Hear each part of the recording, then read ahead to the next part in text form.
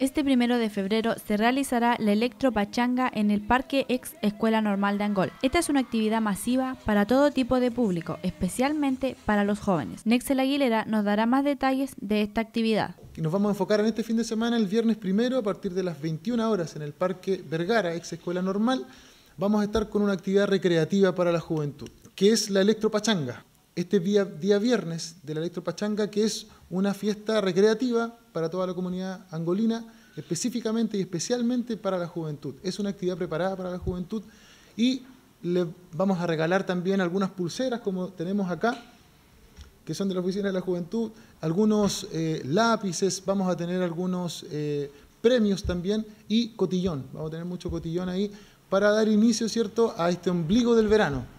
Próximamente, en este fin de semana que viene, ¿cierto? Se van a desarrollar dos actividades.